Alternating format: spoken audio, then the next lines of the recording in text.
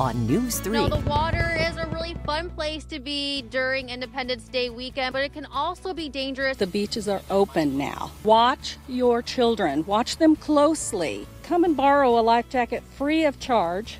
The waterfalls are roaring after recent heavy rains, but I'm tracking some drier weather. I'll tell you if rain may impact some of your firework plans. If you're looking for work, don't worry, we may have just the right job for you. Make sure you check out who's hiring tomorrow's Job Squad report.